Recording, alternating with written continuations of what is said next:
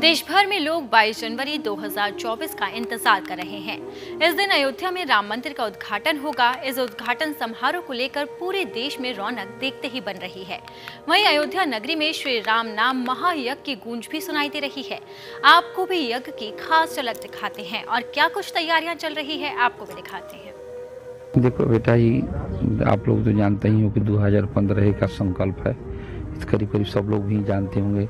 उस जग में आप लोग भी आए होंगे, सब विचरण किए होंगे। तो उस संकल्प को पूरा करने के लिए भगवान के प्राण प्रतिष्ठा के शुभ अवसर पर कोई भी कार्य किया जाता है तो बिना भगवान के नाम के सफल नहीं होता है।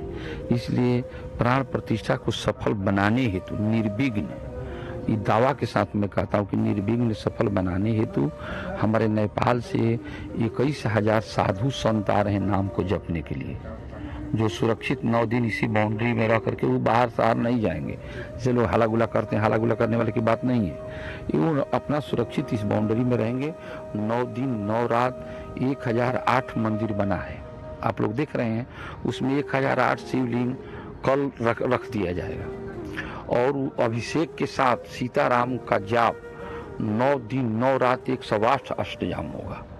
और एक मेन शिवलिंग बनेंगे, जिसमें चौबीसों घंटा रुद्राभिषेक और सीताराम का जाप, अष्टजाम चलेगा, मैंने खड़े खड़े चलेगा। इसमें ग्यारह सौ दंपति सौ कुंड बनाया गया है तो ग्यारह आदमी को हवन करना चाहिए। रावण भी हवन करता था, लेकिन दसें हाथ था दहीना। ग्यारह रुद्र होते हैं, इसलिए एक कुंड में ग्यारह आदमी की आहुति होनी चाहिए। तो ग्यारह व्यक्ति इसमें दंपति मैंने हवन करेंगे। राम मंत्र से वाल्मीकि रामायण पढ़ा जाएगा। वाल्मीकि रामायण में चौबीस हज़ार श्लोक है। हर श्लोक पर राम आए, स्वाहा, माने राम के लिए।